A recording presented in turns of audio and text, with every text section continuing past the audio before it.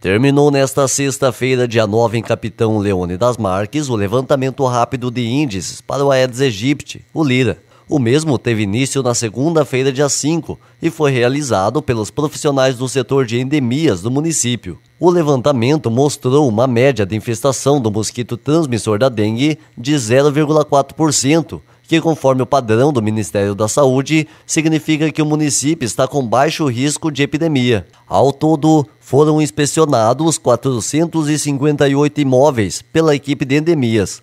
A Secretaria de Saúde e o Controle de Endemias, no entanto, reforçam que no momento devemos aumentar os cuidados, pois com poucas chuvas e muito calor aumenta a proliferação do mosquito. O levantamento também mostrou que o maior depósito de mosquito ainda se encontra em lixos domésticos. A coordenadora de agentes de endemias de Capitão, Neureci Ferreira, falou sobre o levantamento. Boa tarde. Nessa semana nós fizemos o, Lira de do mês de outubro e o resultado foi satisfatório. Porém, nós tivemos essa longa estiagem. A partir de hoje, como choveu, eu peço assim para o pessoal tá dando uma olhada no quintal e eliminando todo e qualquer possível criadouro.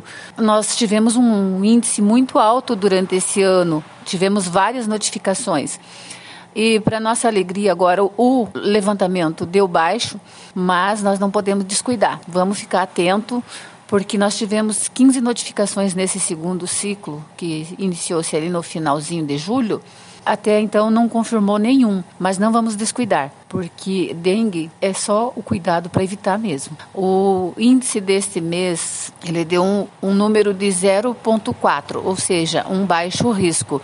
Porém, devido à estiagem, é, o pessoal está tendo mais consciência, né? Tipo, o pessoal de Lavacar, que tem depósitos com água, estão tendo um cuidado maior.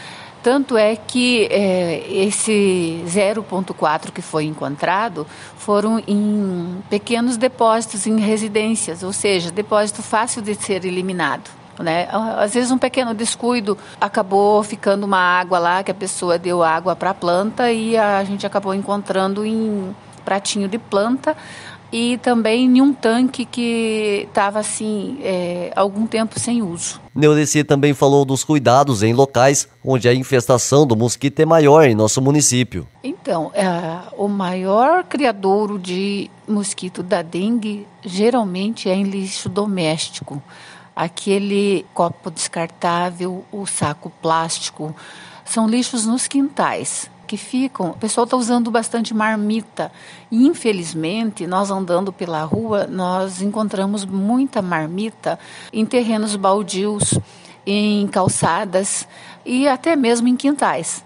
Porque na correria do dia a dia, a pessoa acaba adquirindo uma marmita e não faz o descarte correto da embalagem acaba largando no quintal, às vezes dá a sobra para o animalzinho e acaba esquecendo lá.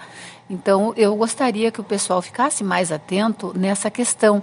Fez o uso da marmita, coloca no recipiente adequado e coloca para o lixeiro estar tá recolhendo, porque nós temos vários terrenos aqui na cidade que o, a gente está cobrando a limpeza do terreno, porém o proprietário sempre fala, mas os lixos que é encontrado lá não são meus. Ok, o vento leva, o animal leva, o cachorro leva, porém uma alerta que eu gostaria de estar tá dando para quem tem terrenos baldios na cidade, que esteja fazendo a limpeza do mato porque nós vamos estar passando, vamos estar identificando e consequência vai ser recebido a notificação, porque eu vejo assim, você tem um terreno baldio, você tem que ter consciência de mantê-lo limpo. Independente de que o animal, o cachorro levou ou não um saco de lixo para lá, mantenha-o limpo é, roçado, sempre para evitar não só o mosquito da dengue, mas cobras e escorpiões também, que infelizmente nós temos na nossa cidade. Com informações para o Jornal da Interativa, repórter Marcos Petersen.